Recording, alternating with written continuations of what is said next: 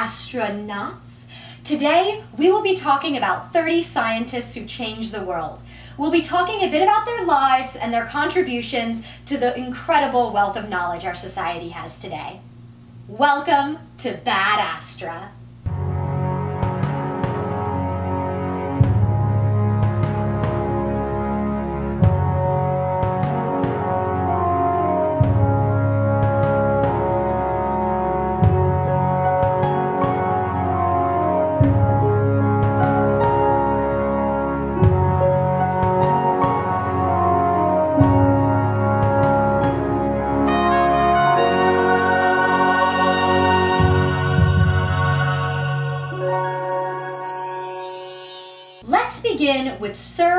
Francis Bacon, the founder of the scientific method.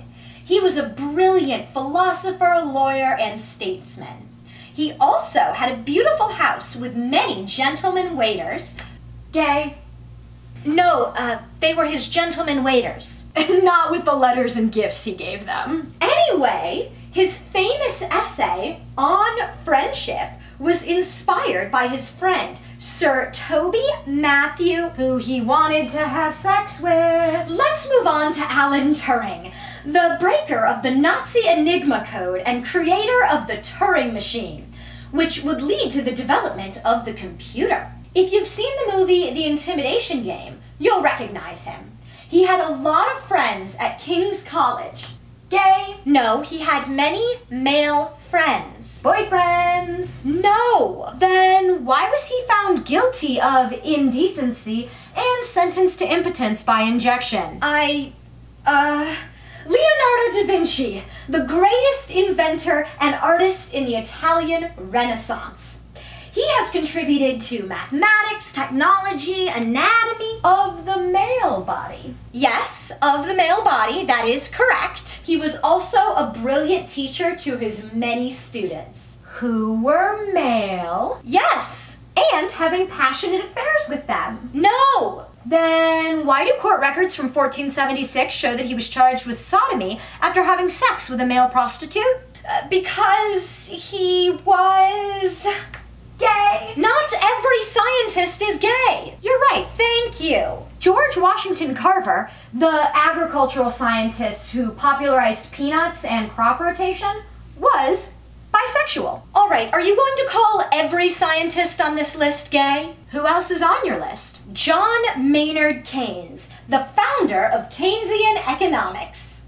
Bisexual. Sir Isaac Newton, founder of calculus and everything you learned in high school physics. Maybe gay? You're not sure about that one? I mean, when you talk openly about how you aren't into women and then have a nervous breakdown because your roommate broke up with you, there's a good chance they weren't just roommates. Newton also could have been asexual, but there's still a lot of debate around it among historians. Well, what about John Nash, the Nobel Prize winning mathematician who pioneered game theory? Bi or pansexual, he dated both men and women and was arrested in a police raid of a men's room. By the way, are there any women on your list? Well, of course.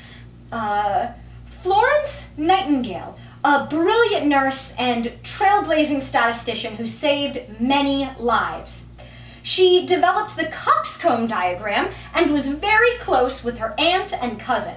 How close? Well, her cousin didn't quite feel the same, but Florence really loved her, and her aunt was the one who nursed her back to health after a serious illness. The two became inseparable. Sounds like incest! And lesbian incest at that. No, they were all just close friends. Many female scientists had close female friends. Um, for example, Sally Ride, the astronaut. She was the youngest astronaut at the age of 32 and was the first female astronaut in NASA history. She operated the robotic arm on the Challenger SPAS-1 and created the Sally Ride Foundation to help young girls get interested in STEM. And her best friend was Tam O'Shaughnessy. Friend? Yes, very close gal pals. Oh, I understand. I too have a very close gal pal. Oh, that's so delightful for you both. So close that I married her. That's not how things were for Sally Ride. She had a husband. Her foundation was the one who mentioned her 27 year partnership with Tam in her obituary, and Sally Ride is recognized as the first gay astronaut. Here, let me just read the rest of your list. I just don't understand why we can't acknowledge that these people had very regular friendships. Not everything has to be about sexual partnerships. You're right. Nikola Tesla was rumored to be asexual. He had no such sexual relationships to speak of. But we don't know for sure if it was from his germophobia or because he lacked sexual attraction. But he did note his celibacy as a major contributing factor to his brilliant science. But back to the list. We have Michael Dillon, brilliant physician, who famously was the first trans man to undergo phalloplasty. Oh, there's more trans men on here, including Alan Hart, a public health researcher who was on the forefront of the fight against tuberculosis. He was also the first trans man in the United States to undergo a hysterectomy. Ben Barres was a fantastic researcher of glia, a type of brain cell, in different diseases and revolutionized our understanding of the brain. He was also the first trans person elected to the US National Academy of Sciences and was a major advocate for gender equality in STEM. We also have several trans women on the list. Angela Clayton was a physicist in the fields of nuclear criticality safety and health physics. She held several leadership roles in organizations focusing on atomic weapons and was awarded the Member of the Order of the British Empire for her work as a trans activist. Lynn Conway is a computer scientist who revolutionized microchip designs and many inventions that led to improved computer processing. She's also a trans activist. Is everyone on my list a member of the LGBTQ community? Uh, yes. Every single one of these scientists is some flavor of queer. I mean, Lauren Esposito, the only woman expert on scorpions in the world, is on this list and she is the co-founder of 500 Queer Scientists. I don't know how you could have missed that, if I'm honest. Every single one, even um, Clyde Wahrhaftig, the geologist that made the role of tectonic plates in earthquakes public knowledge? Yep, gay. And he's been a huge advocate for the acceptance of queer people in science. His longtime partner and research assistant, Allan Verne Cox, is the one who developed a way to test the theory of plate tectonics. Like, what a scientific power couple right there. And speaking of scientific power couples, let's talk about Sarah Josephine Baker and Louise Pearce, or rather, their possible polytriad situation with writer I.A.R. Wylie, but like, not quite. Baker was famous for tracking down Mary Mallon, aka Typhoid Mary, aka Patient Zero. She was huge in the public health scene, especially in immigrant communities. She lived with I.A.R. Wylie, who she was dating. Then, Louise Pearce, famous pathologist that developed a treatment for trypanosomiasis, or African sleeping sickness, moved in with the two of them. All three were members of the feminist society Heterodoxy, of which most of the members were some flavor of bisexual or woman-oriented women, as they called themselves. And after Baker died, Wylie and Pearce still lived together and ended up getting buried next to each other. So not confirmed in any way that these three were all girlfriends, but it looks like Wylie had a thing for women scientists, which Same! we can't continue to keep putting queer labels on historical figures who never confirmed that this was part of their identity. It's it's all hearsay. Really? Since I thought that woman-oriented women was pretty clear. And if you want to talk about scientists who are openly gay, we can talk about Neil Devine, who made major contributions to modern star formation theory. Or we could talk about Ruth Gates, a marine biologist and conservationist who bred super corals that are more resistant to higher temperatures to help protect coral reefs from the effect of climate change. Or what about James Pollack, world-renowned expert in planetary atmospheres and helped us better understand our solar system?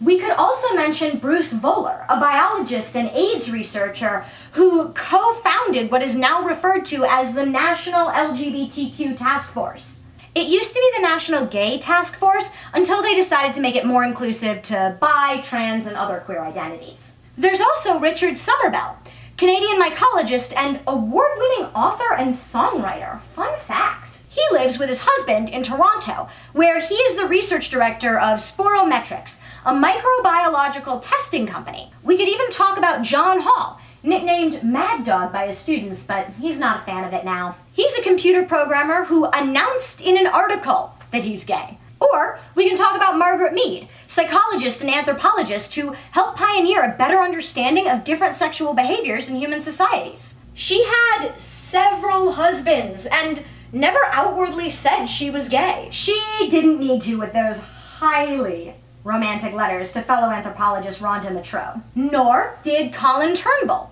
the pioneer of ethnomusicology, when he exchanged marriage vows to Joseph Towles. The anthropologists seem very much each other's types. But there are plenty of reasons queer people can't say they're openly queer throughout history. Sexologist Magnus Hirschfeld was regularly assaulted because he was a gay Jewish man living in Germany when the Nazis were growing in power. He had to go to Switzerland after his international tour because he would have been killed if he went back to Germany. Sonia Kovalevsky, Russian mathematician, not only had to overcome gender barriers in her field, but also had to have a fictitious marriage to a man just to gain permission to study abroad where she could complete her education and develop Kovalevsky's theorem.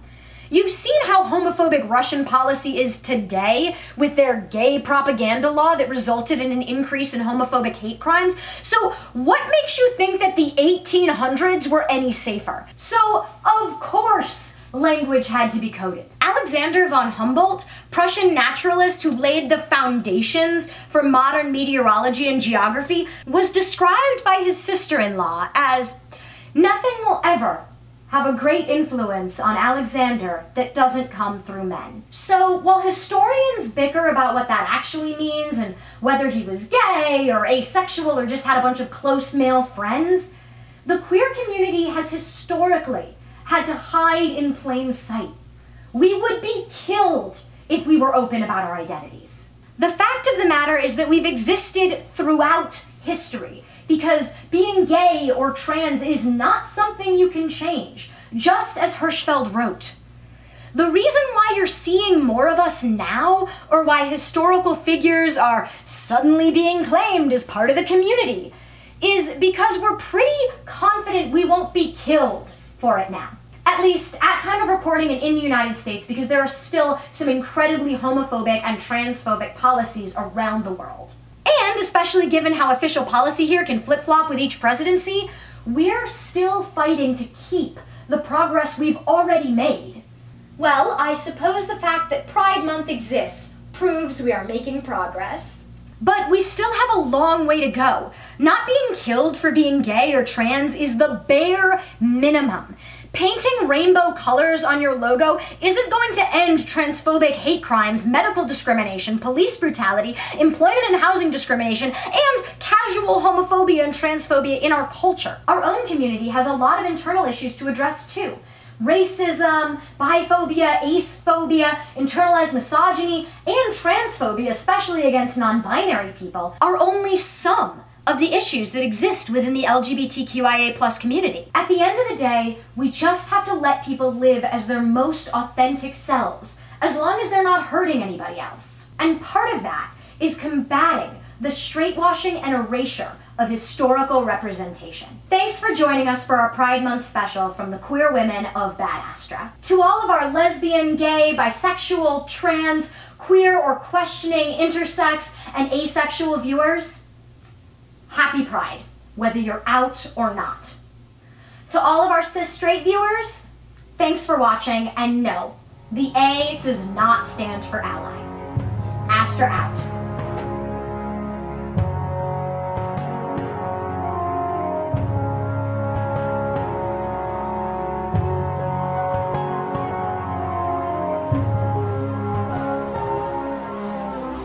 astra, ad astra, to the stars, to the stars.